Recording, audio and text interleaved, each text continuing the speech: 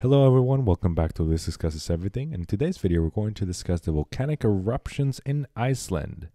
There were a total of uh, a thousand different earthquakes happening in the um, forget the name of the town is around here, but I'm not going to pronounce it. But basically, in Iceland, around 3,000 residents of that town were evacuated after multiple um, multiple earthquakes. A total around a thousand earthquakes occurred in the span of 24 hour period in that area.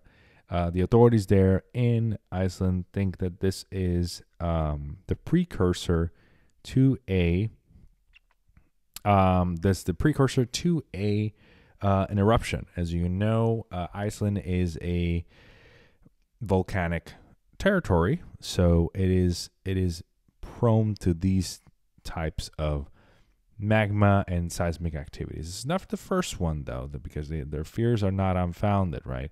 Um, this area has been like a seismic hotspot in the past.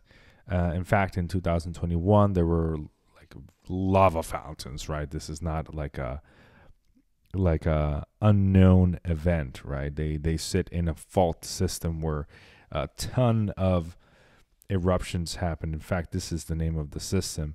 Um, but I would say that um, no harm done in this situation, right? I mean, there is some harm done, but they've been evacuated. I don't think we should expect any any casualties associated to this what looks to be an upcoming eruption. Um, but we'll get I'll bring you guys more information as it comes along.